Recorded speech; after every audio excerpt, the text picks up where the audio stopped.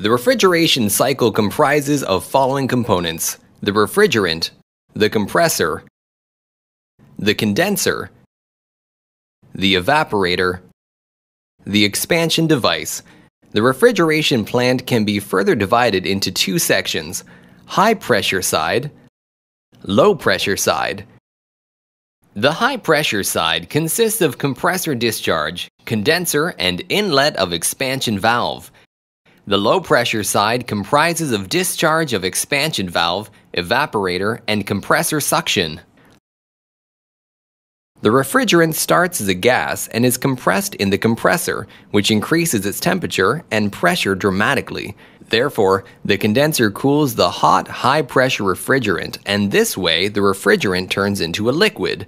The expansion valve acts as a regulator which separates the high pressure and low pressure side. Its throttling effect dictates the compressor delivery pressure, which must be significant to give the refrigerant a saturation temperature which is higher than the temperature of the cooling medium. The pressure drop through the regulator causes the saturation temperature of the refrigerant to fall, so that it will boil at the low temperature of the evaporator. Next, the evaporator boils the refrigerant back to a gas at a very low temperature.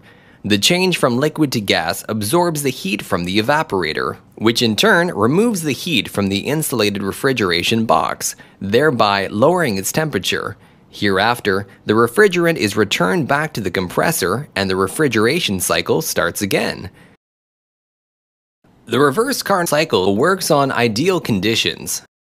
In practical, there are always energy losses in any of the process which involves work, most of the differences between the ideal and the actual cycles are because of the irreversibility in various components, which are in practice, the refrigerant enters the compressor at state 1, slightly superheated vapor, instead of saturated vapor in the ideal cycle. The suction line, the line connecting the evaporator to the compressor, is very long. Thus, pressure drops and heat transfer to the surroundings can be significant. Process 6 1. The compressor is not internally reversible in practice, which increase entropy. However, using a multi-stage compressor with intercooler or cooling the refrigerant during the compression process will result in lower entropy. In reality, the refrigerant leaves condenser as subcooled liquid. The subcooling process is shown by 3-4. Subcooling increases the cooling capacity and will prevent entering any vapor, bubbles, to the expansion valve.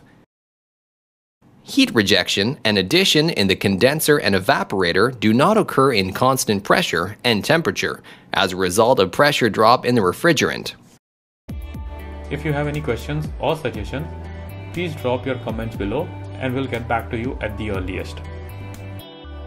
If you like this video, please subscribe to the Marine Insight channel and press the bell icon to get notified when we post such amazing videos. Please like, comment and share this video and do not forget to subscribe to our channel.